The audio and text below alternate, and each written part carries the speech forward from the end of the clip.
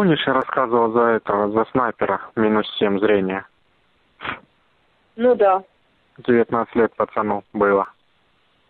Ну. Что, убили? Ну, прилетело им в окоп тогда, там они стояли. Прилетело. Ва- вот это убило. недавно, да? Да не, не недавно вообще. Это- И самое интересное, знаешь что? Что сначала думали, ну, как думали, собирались сделать, типа, вот это, ну, какую-то бумажку родителям, что, типа, ну, посме- этот, выплата, короче, компенсация там какая-то, типа, большая сумма. Мгм. А теперь даже этого Мгм. не сделают, даже не напишут, что он погиб на боевых. Ну, как, не то, что на боевых. А, А, а как будет это оформлено? это будет оформлено как э, просто погиб. Все.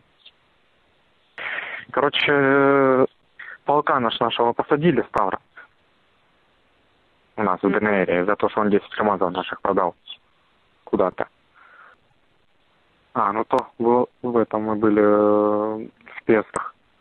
То нам этот Тавр этот гребаный говорил, что мы все, мы все тут сдохнем. Ну, мы вчера вот с вечером пришли, и слышим там в стороне связистов такая стрельба началась.